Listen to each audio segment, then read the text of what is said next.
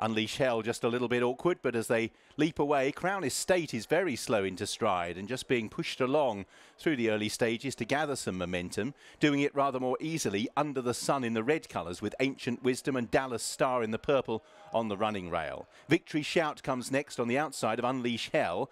And appeared to be a little bit of interference there between Storm Alice and Crown Estate. Storm Alice was one that is also being pushed along as Crown Estate tried to improve on her inside. But out in the lead, it's Dallas Star for Kevin Stott, who leads the turn. In second is Under the Sun in the red colours, Unleash Hell in the red sleeves on the inside, and then the blue jacket of Ancient Wisdom.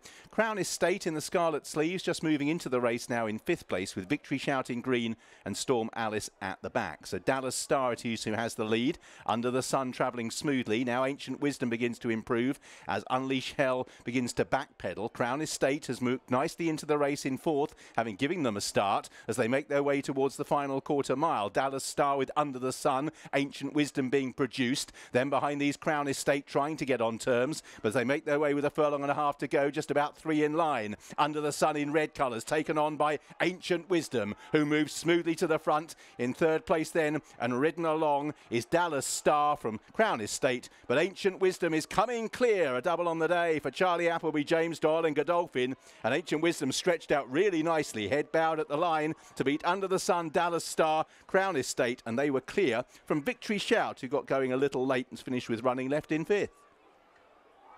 Looks like we've seen something very interesting in Ancient Wisdom in race five at Haydock tonight. James Doyle, was that as good as it looked to the naked eye?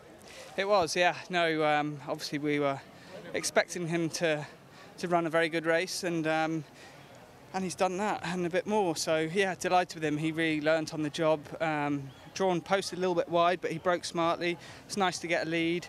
Went to sleep a little bit round the turn, but once we straightened up, I asked him to just show a bit of interest, and he jumped into the bridle and took me along good. Showed a good kick, sort of a furlong and a half out when I asked him to go, and he really hit the line good and galloped out strong. So I'd say it was a, everything you kind of look for in a, in a debut of a potentially pretty smart horse.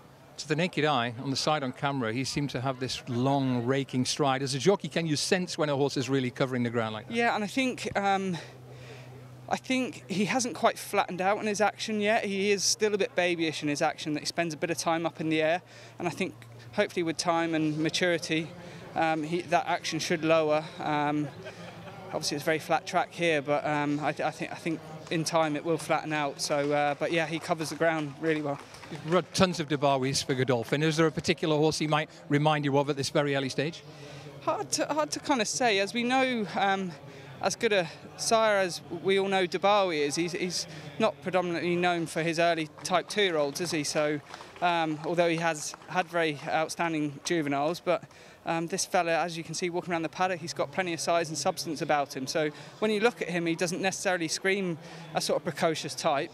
Uh, he got a bit playful at home and we felt like we just had to turn the screw on him a little bit just to get, get his focus and then when we popped him in with a couple of gallops he, he showed up very well hence why we're here today but um, yeah I think you know there's every reason to be pretty excited about Nice work. One last cheeky question.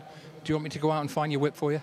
yeah I thought one tap just in case Ascot might come a bit soon, but I thought if he, if they have a close eye on that, I just thought I'd teach him a little bit, one tap and then threw it away. So I'll have to go and find that now. Well done, James. Thanks. Cheers. Watch live racing now on racingtv.com.